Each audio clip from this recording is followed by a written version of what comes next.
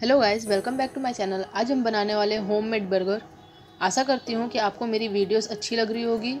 तो चलिए हम वीडियो शुरू करते हैं।